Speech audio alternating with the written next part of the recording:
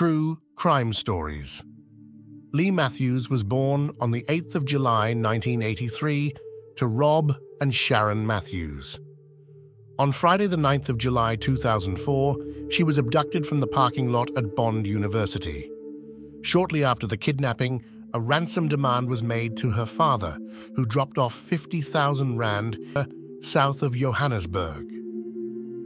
On the 21st of July 2004, her body was discovered by a municipal worker cutting grass in the open field next to the R82 highway in Walkerville, south of Johannesburg. She had been shot four times. It was revealed that the killer was a man by the name of Donovan Moodley, who had asked Leigh for a ride and then kidnapped her. After he received the ransom money, he did not know how to release Leigh without being caught and ended up taking her life instead.